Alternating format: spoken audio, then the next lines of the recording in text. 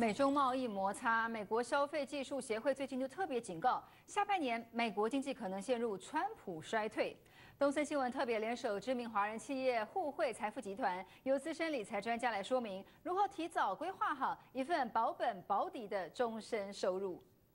忧心美国升起贸易保护主义将持续威胁到本国经济，包括美国消费者技术协会与美国全国企业经济协会。最新预测都指出，二零一九年经济成长将出现明显放缓，也就是最新名词“川普衰退”。影响所及，互惠财富集团资深理财专家特别提醒，华人退休规划更要考虑先保住终身收入。终身收入是一个很好的概念，但很多人会担心说，呃，现在我一年拿就是两万块，那我二三十年以后。通膨嘛，我拿两万我会不够，对吧？所以有些产品它的设计也是会把这些客户的这种考量，它会放进去的啊。呃，有些产品它会每年你的收入它可以给你加呃百分之三，你可以选每年的通通货膨胀是三，那我们每年的收入会增加百分之三啊。那有些产品呢就更有意思，它就会考虑的更多，帮客户就是说你在领中收的收入是不是每年的收入应该跟着股市而成长？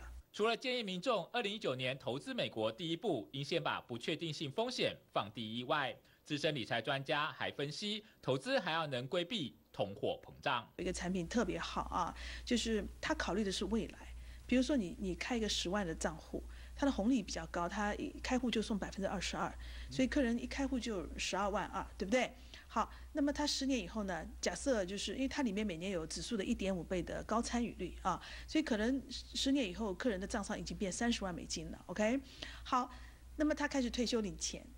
这个款呢我就觉得很特别，它跟普通公司不一样，因为普通公司的那个每年的终身收入是 level 型的，就都一样不会变的。那缺点就是你十年、二十年后就不够嘛，对不对？它这个每年会跟着指数翻倍成长。至于更多华人习惯被动投资股市的需求，互惠财富集团资深理财专家则分享善用美国指数型保单。比如说你呃六十岁，然后你今年拿百分之五的终身收入，那第一年就是三十万乘以五就是一万五，对不对？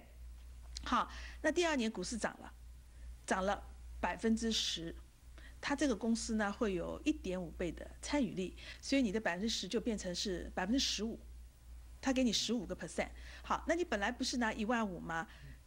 那第二年就不是拿一万五了，它是一万五去乘以这个一点一五，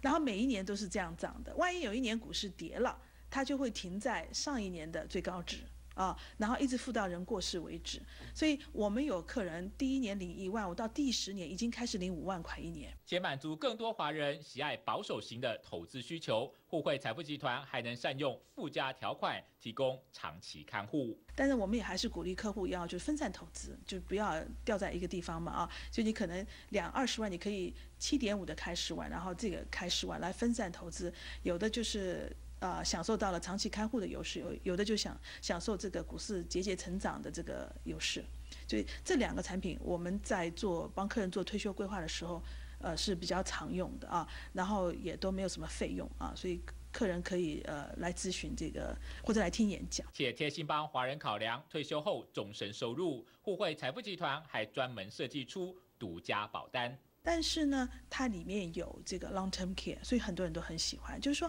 万一你得了 long term care，他的收入就 double 变两万二，然后多出来部分是 tax free 的啊。这个账户我们都鼓励每个客户有 IRA、Roth IRA、四零 K 都可以开，因为在现在这个大环境，就是说市场开始到了比较高位。可能今年还不错，对吧？可是明年以后怎么办？那有的客人在高位，他就考虑要分散投资啊。我不要所有东西都放股票基金，万因为万一像十二月一掉掉百分之二十，对吧？那退休的收入马上就打折了嘛啊。所以很多人开始在这个高位时候就开始寻找好的商品。互惠财富集团立足全球金融中心，且拥有众多高端人才，能帮助华人家庭完整规划出最合适的终身收入。观众想了解更多，请上互惠财富集团官网报名六月份春夏沙龙免费讲座。东新闻李作啊，易宏志在洛杉矶的采访报道。